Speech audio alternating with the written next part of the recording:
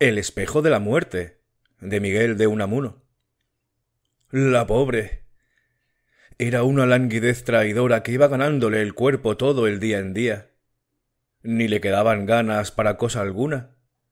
Vivía sin apetito de vivir y casi por deber. Por las mañanas costábale levantarse de la cama. A ella, que se había levantado siempre para poder ver salir el sol.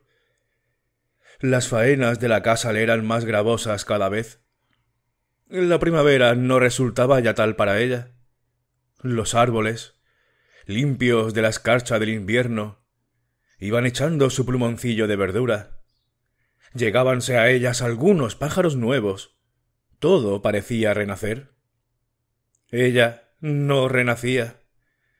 Esto pasará, decíase. Esto pasará queriendo creerlo a fuerza de repetírselo a solas. El médico aseguraba que no era sino una crisis de la edad.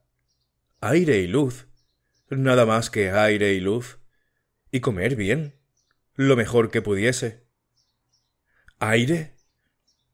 Lo que es como aire le tenían en redondo, libre, soleado, perfumado de tomillo, aperitivo.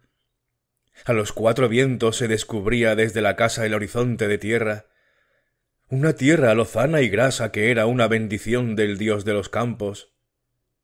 ¿Y luz? Luz libre también. En cuanto a comer. Pero, madre, si no tengo ganas. Vamos, hija, come. Que a Dios gracias no nos falta de qué. Cómele, repetía su madre, suplicante. Pero si no tengo ganas, le he dicho. No importa. Comiendo es como se las hace una. La pobre madre, más acongojada que ella, temiendo se le fuera de entre los brazos aquel supremo consuelo de su viudez temprana, se había propuesto empapizarla, como a los pavos.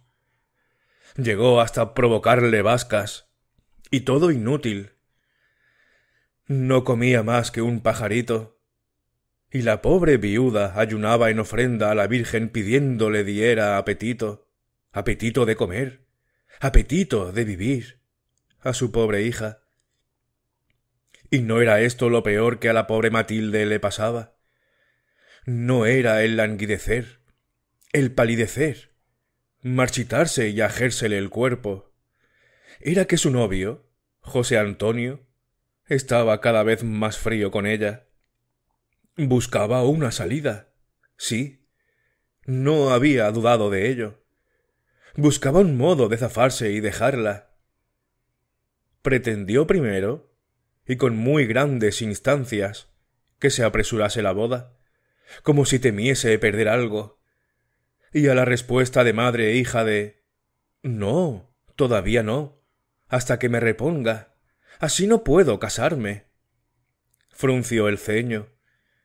Llegó a decirle que acaso el matrimonio la aliviase, la curase. Y ella, tristemente, No, José Antonio, no. Este no es mal de amores, es otra cosa. Es mal de vida y José Antonio la oyó mustio y contrariado. Seguía acudiendo a la cita el mozo, pero como por compromiso, y estaba durante ella distraído y como absorto en algo lejano. No hablaba ya de planes para el porvenir, como si éste hubiera para ellos muerto.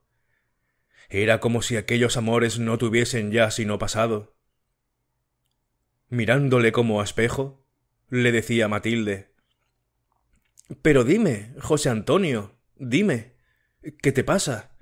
¿Por qué tú no eres ya el que antes eras? ¿Qué cosas se te ocurren, chica? Pues ¿quién he de ser? Mira, oye, si te has cansado de mí, si te has fijado ya en otra, déjame. Déjame, José Antonio, déjame sola, porque sola me quedaré. No quiero que por mí te sacrifiques ¿Sacrificarme? Pero ¿quién te ha dicho, chica, que me sacrifico? Déjate de tonterías, Matilde. No, no, no lo ocultes. Tú ya no me quieres. ¿Que no te quiero? No, no, ya no me quieres como antes, como al principio. Es que al principio... Siempre debe ser principio, José Antonio. En el querer siempre debe ser principio. Se debe estar siempre empezando a querer. Bueno, no llores, Matilde. No llores, que así te pones peor. ¿Que me pongo peor? ¿Peor? Luego estoy mal. Mal, no, pero son cavilaciones. Pues mira, oye, no quiero, no, no quiero que vengas por compromiso. ¿Es que me echas? ¿Echarte yo? ¿José Antonio? ¿Yo? Parece que tienes empeño en que me vaya. Rompía aún a llorar la pobre. Y luego, encerrada en su cuarto, con poca luz ya y poco aire, mirábase Matilde una y otra vez al espejo y volvía a mirarse en él. Pues no, no es gran cosa, se decía pero las ropas cada vez me van quedando más grandes, más holgadas. Este gustillo me viene ya flojo. Puedo meter las dos manos por él. He tenido que dar un pliegue más a la saya. ¿Qué es esto, Dios mío? ¿Qué es? Y lloraba y rezaba. Pero vencían los veintitrés años, vencía su madre, y Matilde soñaba de nuevo en la vida, en una vida verde y fresca, aireada y soleada, llena de luz, de amor y de campo, en un largo porvenir, en una casa henchida de faenas, en unos hijos y, quién sabe, hasta en unos nietos. Y ellos, dos viejecitos, calentando al sol el postre de la vida. José Antonio empezó a faltar a las citas, y una vez a los repetidos requerimientos de su novia de que la dejara si es que ya no la quería como al principio, si es que no seguía empezando a quererla, contestó con los ojos fijos en la guija del suelo. Tanto te empeñas que al fin. Rompió ella una vez más a llorar, y él entonces, con brutalidad de varón, si vas a darme todos los días estas funciones de lágrimas, sí que te dejo. José Antonio no entendía de amor de lágrimas. Supo un día Matilde que su novio cortejaba a otra, a una de sus más íntimas amigas, y se lo dijo, y no volvió José Antonio. Y decía a su madre la pobre Yo estoy muy mala, madre, yo me muero. No digas tonterías, hija. Yo estuve a tu edad mucho peor que tú.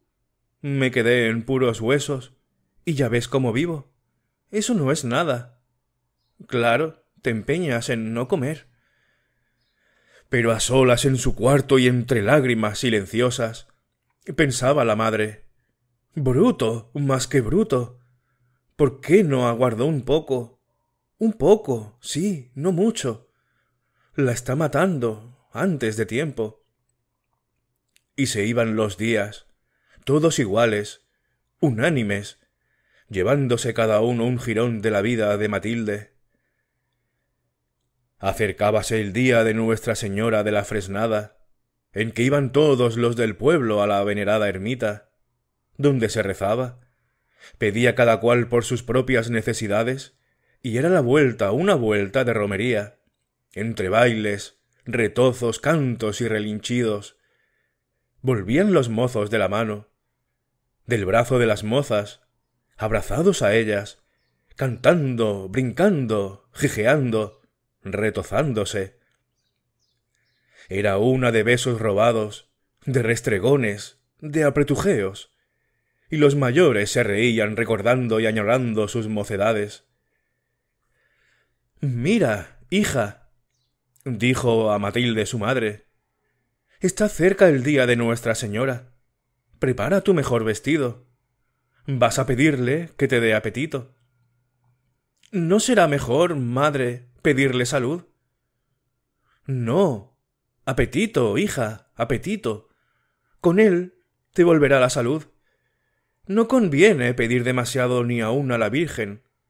Es menester pedir poquito a poquito. Hoy una miaja, mañana otra. Ahora apetito, que con él te vendrá la salud. ¿Y luego? ¿Luego qué, madre? Luego un novio más decente y más agradecido que ese bárbaro de José Antonio. No hable mal de él, madre. Que no hable mal de él. Y me lo dices tú. Dejarte a ti, mi cordera. ¿Y por quién? Por esa legañosa de Rita. No hable mal de Rita, madre, que no es legañosa. Ahora es más guapa que yo. Si José Antonio no me quería ya, ¿para qué iba a seguir viniendo a hablar conmigo? ¿Por compasión? ¿Por compasión, madre? ¿Por compasión? Yo estoy muy mal, lo sé, muy mal. Y a Rita da gusto de verla, tan colorada, tan fresca. Calla, hija, calla. ¿Colorada? Sí, como el tomate. Basta, basta. Y se fue a llorar la madre. Llegó el día de la fiesta. Matilde se atavió lo mejor que pudo, y hasta se dio, la pobre, colorete en las mejillas. Y subieron madre e hija a la ermita. A trechos tenía la moza que apoyarse en el brazo de su madre. Otras veces se sentaba. Miraba al campo como por despedida, y esto aún sin saberlo. Todo era en torno alegría y verdor. Reían los hombres y los árboles, Matilde entró a la ermita, y en un rincón, con los huesos de las rodillas clavados en las losas del suelo, apoyados los huesos de los codos en la madera de un banco, anhelante, rezó, rezó, rezó, conteniendo las lágrimas. Con los labios balbucía una cosa, con el pensamiento otra y apenas sí veía el rostro resplandeciente de Nuestra Señora, en que se reflejaban las llamas de los cirios. Salieron de la penumbra de la ermita al esplendor luminoso del campo y emprendieron el regreso.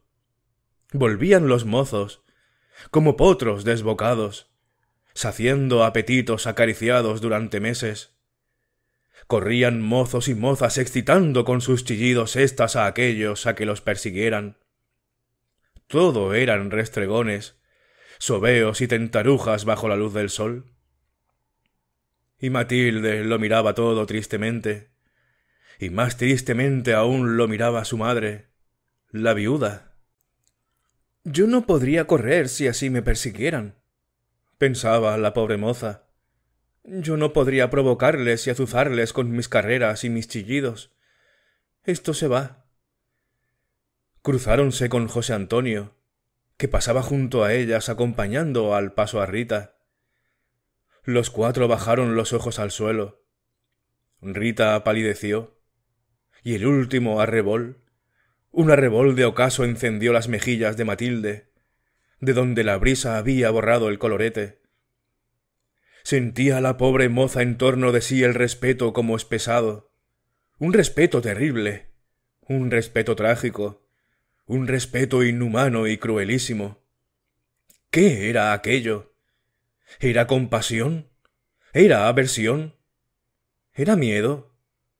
Oh, sí, tal vez miedo. Miedo, tal vez. Infundía temor. Ella, la pobre chiquilla de veintitrés años. Y al pensar en este miedo inconsciente de los otros, en este miedo que inconscientemente también adivinaba en los ojos de los que al pasar la miraban, se la helaba de miedo, de otro más terrible miedo, el corazón.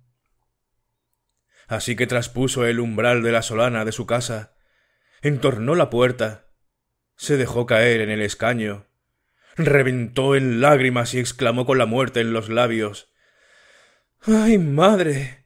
mi madre. ¿Cómo estaré? Como las feas. ¿Cómo estaré? Virgen Santa, ¿cómo estaré? Ni por cumplido, ni por compasión, como otras, como a las feas. ¿Cómo estaré, Virgen Santa? ¿Cómo estaré? Ni me han retozado, ni me han retozado los mozos como antaño, ni por compasión como a las feas. ¿Cómo estaré, madre? ¿Cómo estaré? Bárbaros. Bárbaros y más que bárbaros. se decía la viuda. Bárbaros. ¿No retozara a mi hija? ¿No retozaría? ¿Qué les costaba? Y luego a todas esas legañosas. Bárbaros. Y se indignaba como ante un sacrilegio, que lo era, por ser el retozo en estas santas fiestas un rito sagrado. ¿Cómo estaré, madre?